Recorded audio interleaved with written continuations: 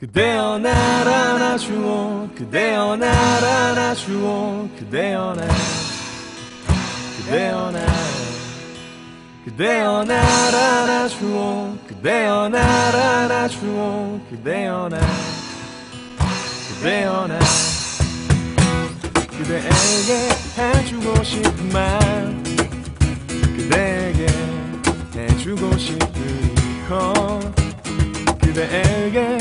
듣고 싶은 이말 그대에게 받고 싶은 것내 마음이 너에게 얼마나 전달될까? 밤새도록 고민을 해봐도 내 마음이 사랑이 말은 담길지도 몰라. 그대여 이 말 꼭 들어주오 그대여 날안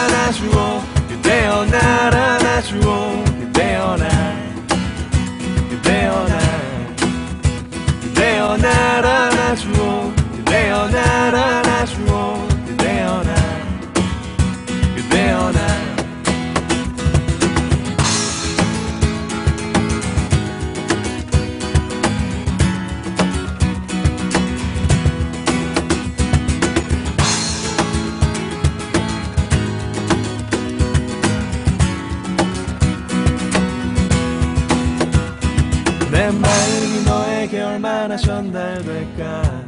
밤새도록 고민을 해봐도 내 마음 사랑이 말에 모두 담길지도 몰라. 그대여 이 말 꼭 들어주오. 그대여 이 말 꼭 들어주오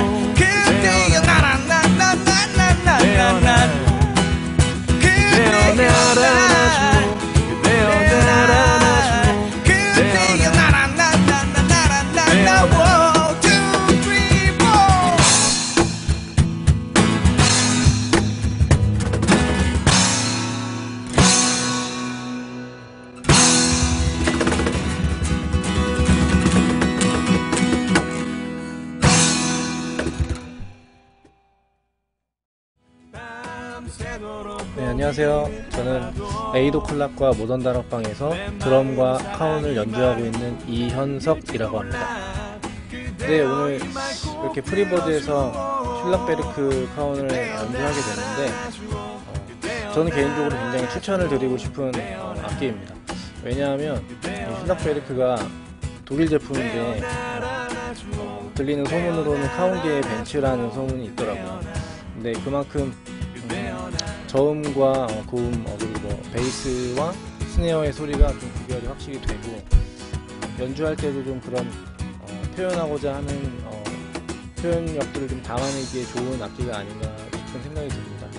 어, 초보자들도 어, 무리 없이 좀 사용을 할 수 있는 악기인 것 같고요. 그만큼 어, 가격대도 굉장히 다양하다 보니까 부담 없이 어, 사용해보시면 좋을 것 같다는 생각이 듭니다. 네, 저희 8 O'Clock과 모던 다락방으로 많이 관심 가져주시고 사랑해주시고요. 어, 음악을 많이 좀 들어주셨으면 좋겠습니다. 그리고 어, 오늘 이렇게 프리버드 와보니까 너무 좋은데 여러분도 방문하셔서 어, 뭐 악기들이 굉장히 많은 것 같아요. 다른 악기도 그렇고 또 슐락베르크 카혼도 어, 여기서 만나보시면 좋을 것 같습니다.